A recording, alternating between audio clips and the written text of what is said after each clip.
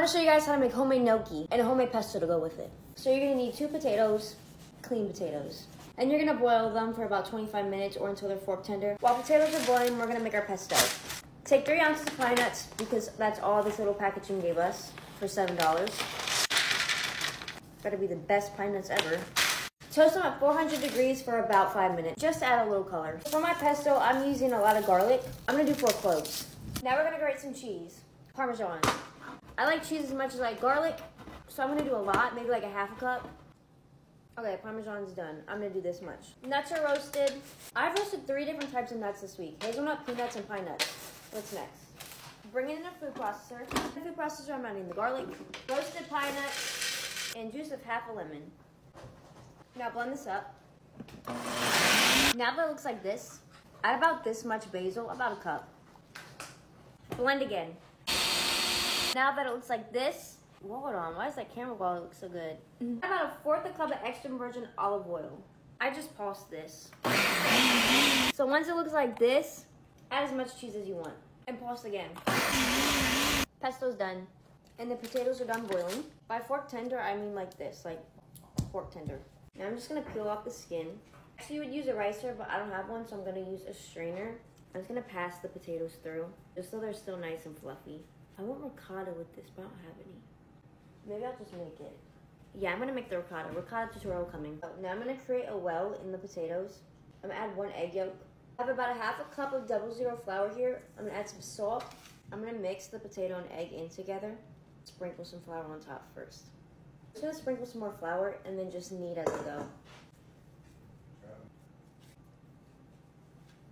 This is after a few minutes of kneading. This is what she looks like. Now I'm gonna cut it into four pieces. So fluffy. And I'm gonna roll it out. About 12 inches long. I'm gonna cut them into like half inch pieces.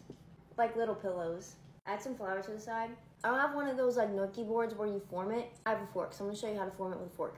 So I dip my fork in my flour. I put the dough at the top of the fork and I just press slightly with my thumb and let it roll off.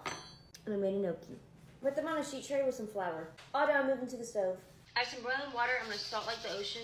Add my gnocchi about 30 seconds or until they start floating. Once they're done cooking, they look like this. So after you take them out, you can put it directly into your sauce. Uh, I like them to be a little crispy, so I'm gonna fry them first. You're gonna add your gnocchi. Just let it sit and crisp up and move the pan as you go. Hey! this is what I go for. So ricotta is actually really easy to make. And it's one of my favorite things I learned in culinary school. Putting it on the stove. You're gonna leave it on the stove till it's 200 degrees or steaming. Also, it has to be whole milk. It's not gonna work with any other milk. Once it hits 200 degrees, remove it from the heat. Add a third cup of lemon juice or vinegar. Slightly mix it. And it'll start looking like this. And you're gonna leave it alone for like 10 minutes. I'm gonna take a bowl and a strainer and some cheesecloth. If you don't have it, like me, I'm using paper towel. I don't know where it went. And pour it. Let it sit for like 30 minutes so all the liquid drains out. This is what it looks like after sitting. Homemade ricotta cheese. So I'm gonna add a pesto. To the pesto, I'm just gonna add a little bit of cream. Little mix. Now that it's nice and smooth and all incorporated, add our gnocchi. I'm just mixing it all in. Now plate. Add some of this homemade ricotta on top. This is what she looks like. What is it? What's it? Creamy pesto gnocchi with a homemade ricotta on top. Yeah, good. It tastes like pasta. Oh, Oh, 15 out of 10. oh my god.